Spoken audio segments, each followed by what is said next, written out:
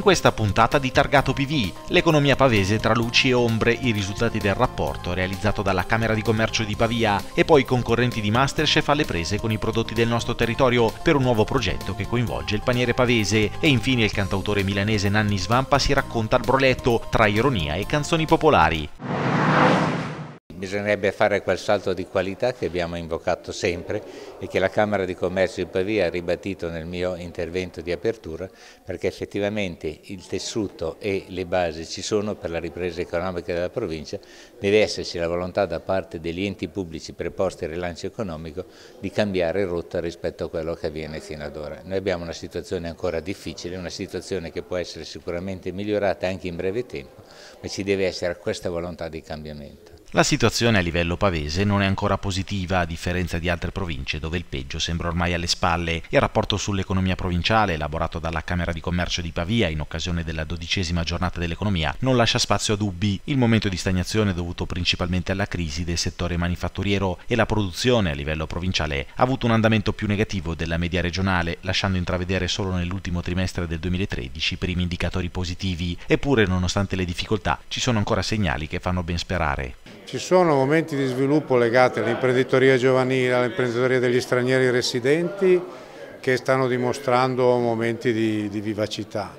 Chiaramente questo può essere anche dovuto a una crisi del lavoro dipendente per cui alcuni giovani si mettono a fare gli imprenditori anche senza averne le aspirazioni, però diciamo che secondo me in questo, in questo contesto bisogna cercare un po' di soluzioni e poi cercare delle soluzioni dal punto di vista strutturale, dal punto di vista reti di impresa, ehm, confronti sull'innovazione, insomma start-up innovative, questi aspetti che non ho avuto modo di sviluppare nell'intervento per mancanza di tempo, ma che secondo me possono essere una delle chiavi di, di soluzione del problema.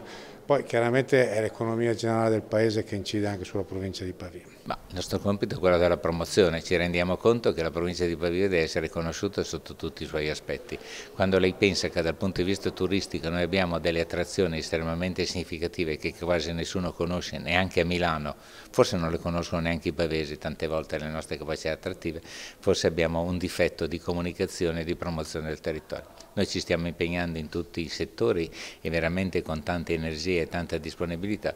Speriamo che questo segnale venga raccolto anche da altre istituzioni, ma soprattutto colga il segno per quanto riguarda Expo 2015 che si possa essere veramente inseriti in un quadro di promozione e di attrazione della nostra provincia.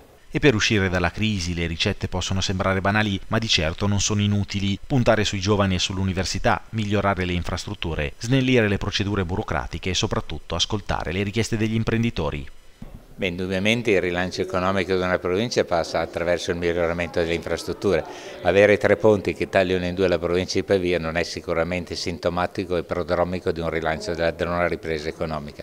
Abbiamo veramente delle grosse opportunità legate ai corridoi europei che passano attraverso la provincia di Pavia, il corridoio 5 e il corridoio 24.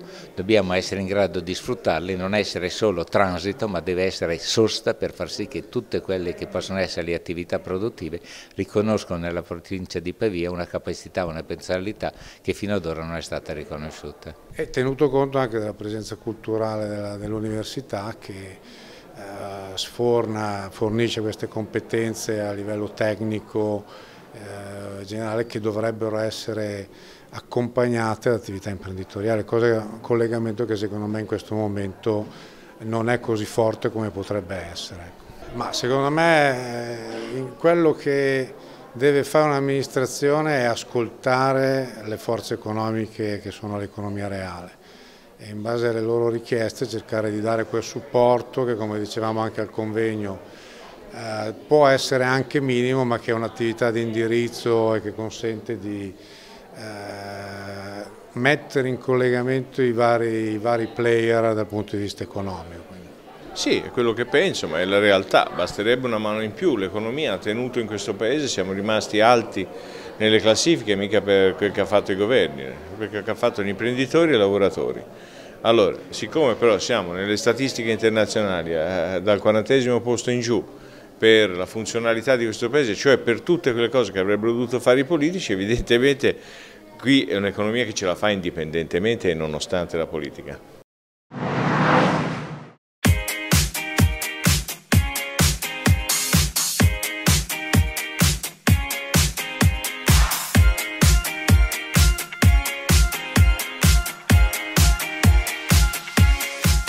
Camici appesi e volantinaggio davanti al San Matteo, anche Pavia prende parte alla manifestazione nazionale per la campagna Svoltiamo la sanità, che ha tra i punti centrali la richiesta di finanziamento dei contratti di formazione specialistica. Allo stato attuale in Italia ogni anno si laureano circa 7.500 studenti in medicina, ma i contratti di formazione e lavoro che permettono la specializzazione dei giovani medici per il 2014 saranno solo 3.300. Molti giovani medici eh, iniziano il loro, il loro percorso eh, speranzosi e carichi eh, e poi durante la loro carriera vengono smontati perché? Perché soprattutto in questo momento non viene fatto, appunto, non viene fatto questo, questo calcolo del fabbisogno e molti eh, completano il loro percorso di studi e, non, e non, trovano, non, trovando uno sbocco lavorativo perché? Perché, perché non c'è la specializzazione, non hanno la possibilità di specializzarsi. Allo stato attuale si eh, eh laureano circa 7500 medici l'anno eh, mentre le, le, borse di studio specializzazione, contratti formazione e lavoro, chiamiamolo nel modo giusto, a disposizione sono solo 3.300, saranno solo 3.300 per quest'anno. Capite voi benissimo appunto che 7.500 è nettamente maggiore rispetto a 3.300, di conseguenza eh, i giovani medici resteranno a spasso e questo qua comporterà un, eh, una migrazione eh, verso l'estero de, delle, delle, nostre professionalità e delle nostre, e delle nostre menti. Eh, noi siamo qua oggi a fare questo flash mob, un flash mob che comunque eh, intendo precisare non è una manifestazione, è giusto eh, per dire Pavia c'è, anche il CGM Pavia è presente. A livello nazionale in tutte le sedi eh, c'è stata, stata una forte mobilizzazione. A Roma in questo momento c'è una manifestazione, un flash mob eh, a Montecitorio dove eh, un gruppo un attimino più sostanziale di medici stanno presidiando. Abbiamo voluto fare questo flash mob in una manifestazione per non interrompere la nostra attività lavorativa. La nostra attività lavorativa perché noi crediamo molto in quello che facciamo nella nostra professione, nel, nel bene del, del paziente e dell'ammalato e di conseguenza non vogliamo creare assolutamente nessun disagio.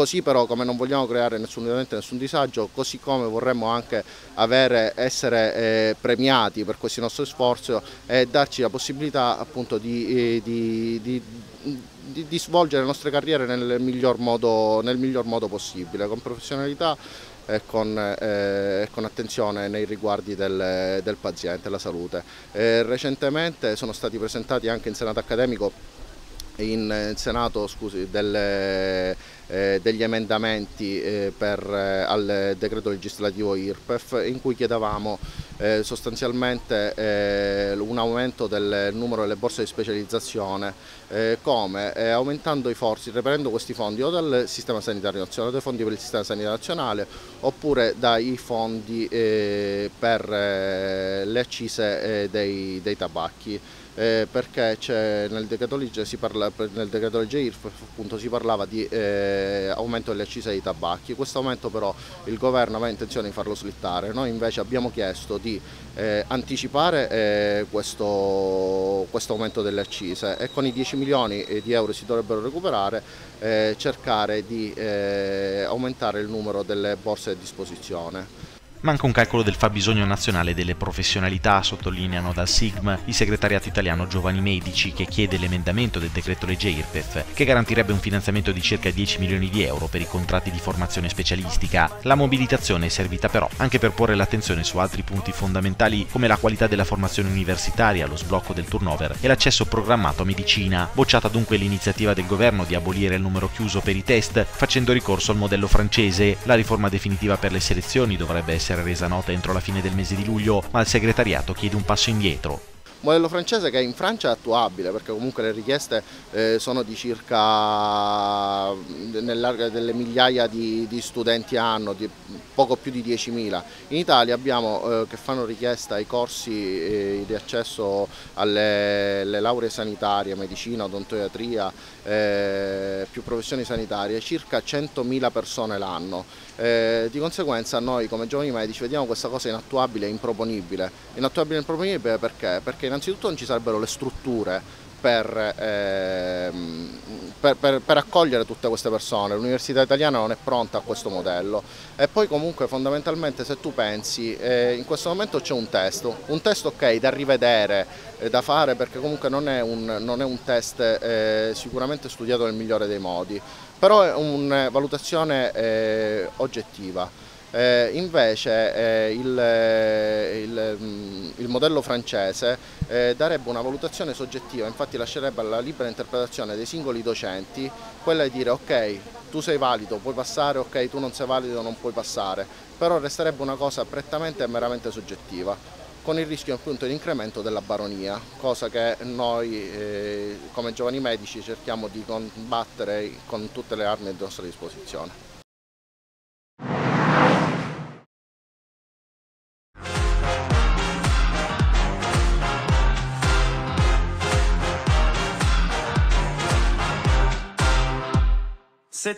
La ricetta in questo caso è piuttosto semplice. Prendi Federico Ferrero, vincitore dell'ultima edizione di Masterchef, aggiungi un pizzico di pavia con Eleonora Federici e condisci il tutto nel contenitore del paniere pavese Nasce così il libro Missione Leggerezza, iniziativa che rientra tra i progetti commerciali portati avanti da Piazza Italia, una scintilla, quella tra provincia e Masterchef, scoccata da un episodio avvenuto proprio nel corso del celebre talent dei fornelli. Il paniere pavese sta andando avanti alla grande, eh, avremo dei prossimi appuntamenti che sarà il Salone del Gusto e poi saremo presenti anche a Italy con delle presentazioni di alcuni laboratori sensoriali che faremo anche con dei bambini, soprattutto per quanto riguarda i prodotti all'omelina dell'oltrepo e del Basso Pavese.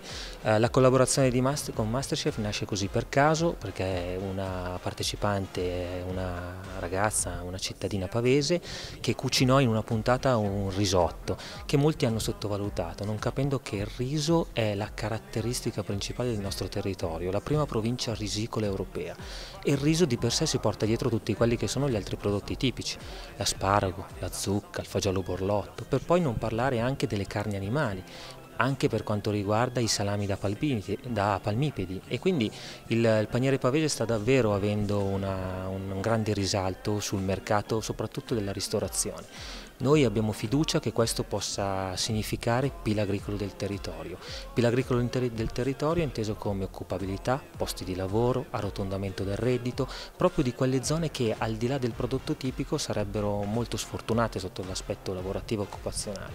Quindi noi ci crediamo, stiamo portando avanti con fatica questo progetto perché le risorse sono sempre meno, ma abbiamo fiducia, abbiamo fiducia nel futuro. Prodotti tipici di cui è ghiotta per sua stessa ammissione Eleonora Federici, alfiere pavese fino all'ultima puntata di Masterchef. Difficile però chiederle di sbilanciarsi, viste le tante tipicità che presenta il nostro territorio. Ci sono moltissimi veramente prodotti eh, del nostro territorio. Difficile sceglierne fra l'uno o l'altro perché io sono una golosa, quindi spazio. Apprezzo tantissimo eh, il fagiolo borlotto di Gambolò, la cipolla di Breme la adoro, eh, vado matta anche per la zucca, ricordiamo la zucca bertagnina, il fatidico miccone di Stradella che è buonissimo con il salame con una bella anche salsa al cioccolato, per cui è un territorio che va valorizzato perché ha, ha una vera ricchezza. E poi il riso, vabbè non dimentichiamoci i nostri grandissimi risotti. Gioielli in cucina parte dal cuore, quindi quello che è il mio lavoro e la mia grande passione, i gioielli e le gemme e poi i dolci, la pasticceria mi ha sempre affascinato perché è la parte più complicata della cucina, più tecnica, che mi permette di uh, spaziare proprio a livello artistico sulle decorazioni. Quindi perché no fare di un dolce il cofanetto regalo di un gioiello vero. Un tripudio di piatti e pietanze, insomma, ma Pavia si sa, sono giorni di attesa ed ogni evento nasce e si svolge sullo sfondo del ballottaggio che domani designerà il sindaco del capoluogo. Abbiamo allora chiesto al vincitore di Masterchef cosa cucinerebbe ai due agguerriti e affamati sfidanti. Bisognerebbe partire dal territorio, ci sono due prodotti secondo me straordinari tra i tanti, uno è l'oca e l'altro è eh, l'oltrepo pavese. Queste bollicine stanno mettendo tutta l'Italia d'accordo e l'oca addirittura ha messo d'accordo diverse religioni.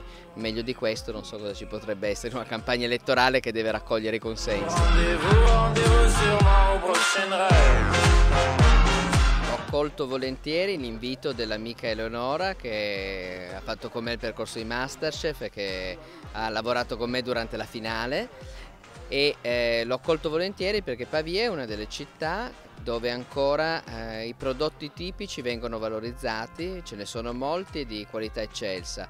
È una città che unisce a questo anche una grandissima cultura e delle bellissime eh, specificità artistiche. L'enogastronomia può essere il volano di una rinascita dell'Italia che passa dal cibo ma approda alla cultura all'arte.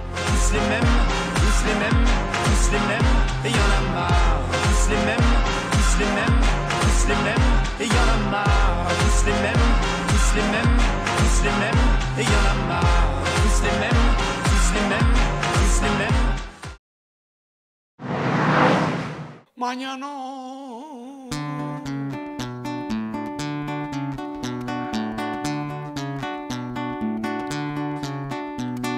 Donne, donne, che c'ha il magnano, che il gavea della ora e se cavi qualcosa ti fa giusta, tu che c'è il magnan che è il caffè di Laura. E perché mi ha chiamato, io quando mi chiamano vado e eseguo.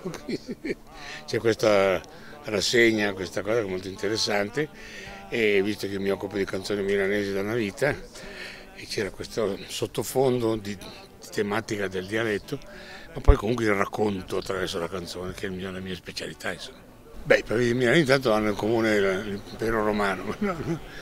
No, voglio dire, eh, ormai Pavia eh, mi dicono che è una città satellite, io la frequento poco purtroppo, negli anni giovanili si unisce spesso al teatro Fraschini, eccetera. Ma io penso che abbiano in comune questa mentalità lombarda, questa, eh, poi Pavia ha questa sua bellezza architettonica del centro e queste cose dei fiumi. E poi a me hanno detto una cosa importante recentemente, che è diventata una città satellite di Milano grazie al passante ferroviario, e quindi ormai non c'è più differenza. E se stagna la crapa al posto di Soppignato, senza chiamare, tu torni a e se stagna la crapa al posto di bravi, bravi.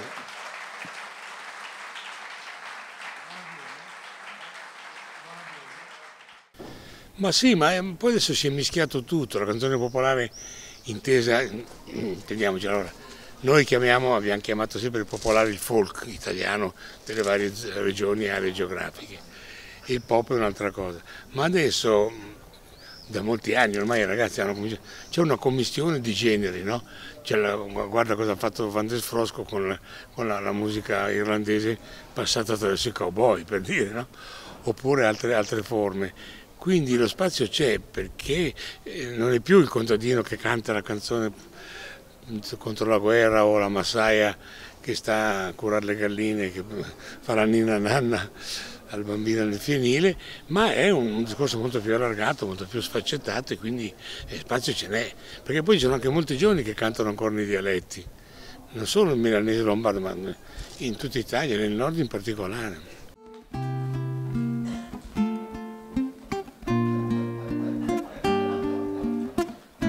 che sei dormente. Ma no, ma non ci sono, eh, tutti abbiamo imparato dagli altri e gli altri hanno imparato da noi, cioè i ragazzi che dopo hanno fatto i cantautori hanno sentito noi quando erano ragazzini e hanno sviluppato poi delle cose, non, non vedo mai dei cloni, insomma. giustamente tutti abbiamo avuto dei maestri fin dall'antichità e anche i giovani di, di, quando eravamo poco più che giovani noi, so.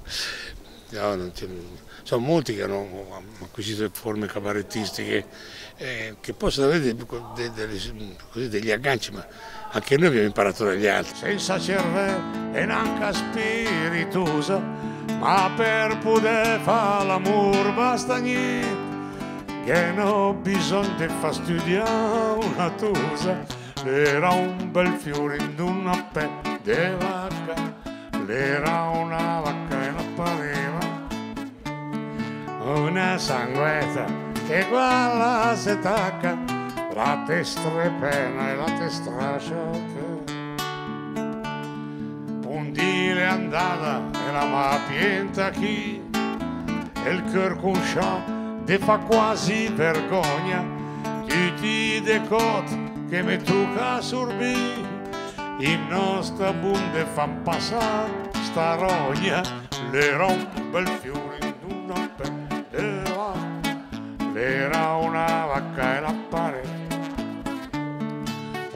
sanguetta e qua la setacca, la testa è pena e la testa sciolga. fantasioso, io eh, amo il pubblico, amo il pubblico lombardo in particolare perché mi segue con maggior conoscenza della nostra lingua e quindi spero di tornare in zona che era qualche anno che non venivo e ritrovarli tutti un po' nelle cascine, un po' nei castelli un po' sui fiumi.